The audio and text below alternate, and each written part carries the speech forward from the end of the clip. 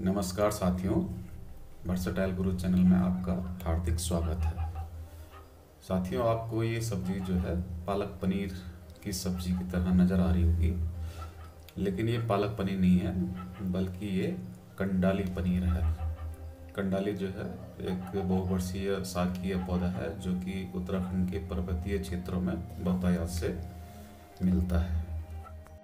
कंडाली पनीर बनाने के लिए मैं कंडाली के पौधे के जो मुलायम अग्रभाग होता है, उसको चिमटे और कैंची की सहायता से काट करके ले आया था और उसके उपरांत मैंने इनको अच्छी तरह से दो तीन बार साफ़ पानी से धो लिया था।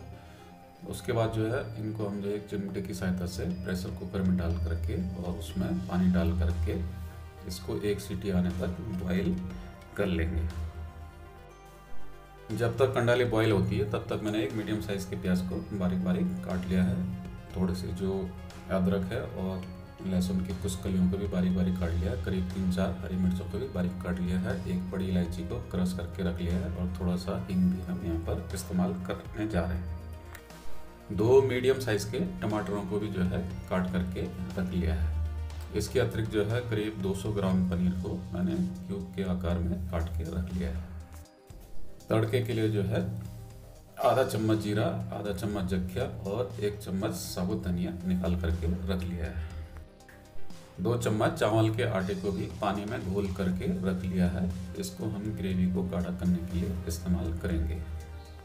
इधर मैंने कंडाले को एक सीटी आने तक उबाल लिया था और इसको स्वतः ही ठंडा होना दिया, अर्थात कंप्लीट इसका प्रेशर रिलीज़ होने पर हम इसके ढक्कन को खोल लेंगे और उससे एक छन्नी की सहायता से कंडाली को एक ग्राइंडर मिक्सर के जार में डाल देंगे। लीजिए उबाली हुई कंडाली का हमने पेस्ट तैयार कर लिया है। इसका हम जो है सिलबट्टे में पीस के भी पेस्ट तैयार कर सकते हैं। कंडाली पनीर बनाने के लिए सारी तैयारियाँ पूरी हो चुकी हैं। अब हम गैस में एक कढ़ाई चढ़ा लेंगे और उसमें करीब दो टेबल स्पून सरसों का तेल लेंगे। सरसों का तेल गर्म होने पे उस पर जो तड़के की सामग्री हमने रखी हुई थी, उसको डाल देंगे इनके चटकने पे। जो हमने प्याज, लहसुन, अदरक इत्यादि चीज़ें रखी हुई थी, उन सारी चीज़ों को भी इसमें ऐड कर लेंगे। करची की सहायता से इनको थोड़ा चला लेंगे और उसके उपरांत जो है, हम इनको जो है प्याज के हल्के ब्राउन होने तक भून लेंगे। करीब दो तीन मिनट तक मध्यम आँच में पकने के उपरांत प्याज हल्का सा ब्राउन हो चुका है। अब हम इसमें जो है, सबसे पहले आधा चम्मच हल्दी और करीब एक चम्मच लाल मिर्च पाउडर मिला करके उसको कड़छी से अच्छे से चला लेंगे। इसके उपरांत जो है, हम जो टमाटर हमने काट के रखे हुए थे, उसको भी इसमें ऐड कर लेंगे और फिर इसमें करीब दो चम्मच धनिया पाउडर ऐड कर लेंगे। साथ ही स्वादानुसार नमक भी इसमें ऐड कर लेंगे।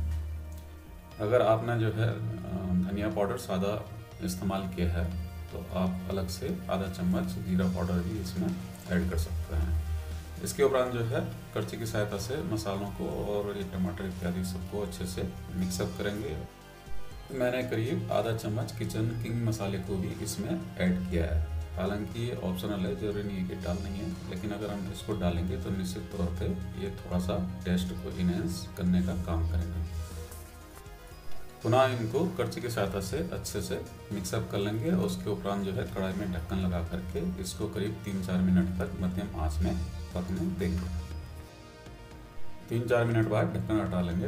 देखिए, टमाटर भी पर्याप्त रूप से सॉफ्ट हो गए और साथ ही मसाले भी अच्छी प्रकार से पक चुके हैं। तो अब समय है कि हम कंडाली के पेस्ट को इसमें ऐड कर लें। तो जो हमने कंडाली का पेस्ट तैयार किया था, अब हम उसको इसमें मिला लेंगे और इनको करछी की सहायता से मसाले के साथ अच्छे से मिक्सअप करेंगे।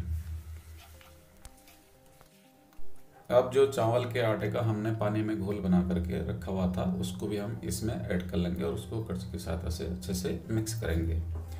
ज़रूरी नहीं है कि चावल के आटे का ही घोल बनाया जाए। चावल को भिगा करके हम उसको पीस करके भी ये पेस्ट तैयार कर सकते हैं, अथवा इसके स्थान पे हम दो चम्मच बेसन को पानी में घोल करके उसका भी इस्तेमाल कर सकते हैं।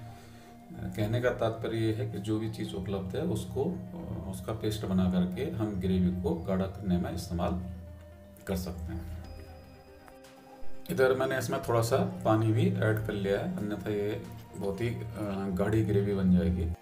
अब इसे हम कुछ देर तेज़ आँच में उबालना शुरू करेंगे। जब ये एक बार उबालना शुरू हो जाएगा तो हम इसको लो टू मीडियम हीट में जो है, करीब 10 मिनट तक लगातार उबालते रहेंगे। ध्यान रहे कि हम इसको बीच बीच में कड़ची के सहायता से चलाते भी रहेंगे।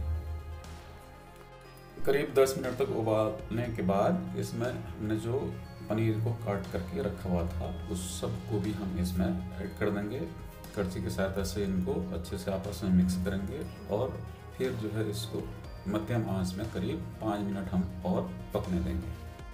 कंडाली में विटामिन ए और आयरन भरपूर मात्रा में पाया जाता है। लिहाजा जिन लोगों के शरीर में खून की कमी हो, उनके लिए तो ये औषधि का काम करता ही है। साथ में जो है ये पीलिया उदर रोग, खांसी एवं किडनी से संबंधित रोगों में इसका उपयोग लाभकारी होता है। लेकिन इसके उपयोग में हमें सावधानी बरतने की भी आवश्यकता पड़ती है। पहली चीज़ तो ये है कि इसकी तासीर काफ़ी ज़्यादा गर्म होती है। लिहाजा जब बहुत ज़्यादा ठंड का मौसम हो, तभी हमको इसका सेवन करना चाहिए। और दूसरा ये है कि जब हम इसको तोड़ करके लाएँ तो उस समय भी विशेष रूप से सावधानी बरतें, क्योंकि इसकी पत्तियों और इस स्टेम के चारों ओर जो है, जो रोएदार कांटे होते हैं, उनमें फॉर्मिक एसिड भरा होता है और उनको टच करते ही हमारे शरीर में जोरदार झंझनाट होती है, जिसका असर करीब 24 घंटे तक बना रहता है। हालाँकि शुरुआत में उसकी तीव्रता ज़्यादा होती है और जैसे समय गुजरता जाता है, उसकी तीव्रता कम होने लगती है। पनीर मिलाने के उपरांत मैंने इसे करीब पाँच मिनट और पका लिया है और इस प्रकार से अब जो है हमारी कंडाली पनीर की सब्ज़ी पूरी तरह से तैयार हो चुकी है। तो बहुत ही पौष्टिक और स्वादिष्ट कंडाली पनीर की सब्ज़ी तैयार है। आप लोग भी इस प्रकार की रेसिपी को अवश्य ट्राई करें। रेसिपी पसंद आने पर वर्साटाइल गुरु चैनल को अवश्य सब्सक्राइब कीजिएगा और साथ ही इसी प्रकार के वीडियोस को देखने के लिए देखते रहिएगा वर्साटाइल गुरु चैनल।